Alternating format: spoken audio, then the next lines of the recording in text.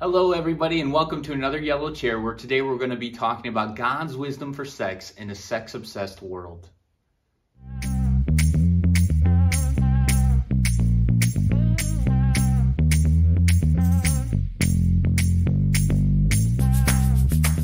Well, if you've ever heard, why do I need a piece of paper to prove my love? Today I want to explore God's wisdom for why He says sex should be um, something reserved for the covenant of marriage. You see, the power of that legal document is that it's going to cost us something to walk away from the relationship.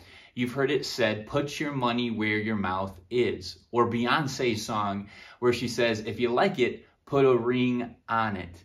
You see, what we know about human nature is that if we haven't made an investment, then things are easy to walk away from when the going gets tough. All of us can live without sex, but we can't live without intimacy. God's wisdom for waiting on sex is that um, sex is going to be really good when there's a really good emotional connection, and sex has a tendency to blind us from that emotional connection.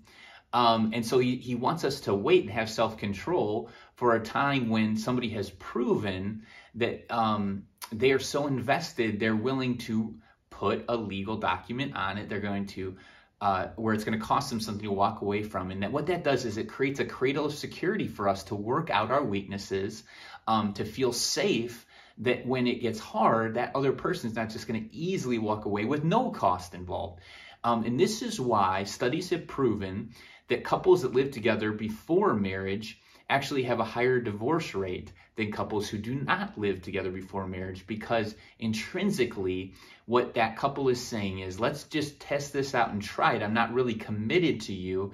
I mean the second it gets hard i might want to walk away or the second that a better option comes i'm going to walk away. Well that doesn't create much security does it? And eventually you want that security to feel like you're safe to be yourself with somebody that's going to challenge you, but with a high love quotient that they're not just going to walk away as you work out your weaknesses, just like you want them to be patient with you uh, to work out your own weaknesses. So this is God's wisdom for sex. And, and I want to speak a little bit also to the porn issue that we, we have. I hear so many people say, oh, porn is just fun and fantasy and has no harmful effects. Well, the truth is there's been over 500 studies done on pornography and its effects on people. And every single study shows that it has negative effects. It desensitizes us. It leads to a greater violence at, with men towards women who are objectifying women now uh, as just a tool to be used for their sexual satisfaction without considering their human needs um, and and their desires. Uh, it leads to a lot of sexual dysfunction when it comes to um, wanting to just have a normal sexual connection with another real person because our brain has been so uh, overwhelmed by dopamine and its effects through pornography that um, we need more and more violent images to uh, turn us on, just like a drug addict who uh, starts out with one drug but then t- chases that high and goes deeper and deeper into drugs. The same effect happens with pornography, which leads to all kinds of uh, horrible dysfunction um, that really hurts a lot of people, especially the person doing it. And so, um, for all these reasons, God wants us to understand that He loves us, He wants what's best for us, that He can heal our hearts from all the bad decisions we've made in the past in this area, and that um, He really does know what's best and want what's best for us and for other people, and that therefore sex is best saved for the covenant of marriage where somebody has proven that they're willing to invest in you to such a point that it will cost them something to walk away from that relationship.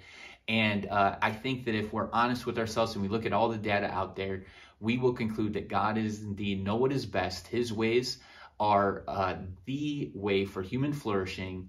And so I hope this will encourage you today to seek His help, to seek accountability with others, to do things the right way, to have the best life that you can have and cause the least amount of pain. So All the best to you today. I hope this helps. Thank you for tuning in to another episode of The Yellow Chair. If this information was helpful to you, would you do us a favor and click the like button on our YouTube videos to help us in the algorithm and get this information out to others? Also, if you have a friend or an acquaintance that you think this could be helpful to, make sure you share it with them and hit the subscribe button as well, and we'll drop a new video for you each week that will hopefully help you in all things pertaining to life and godliness because we want fullness of joy for you. Have a great day.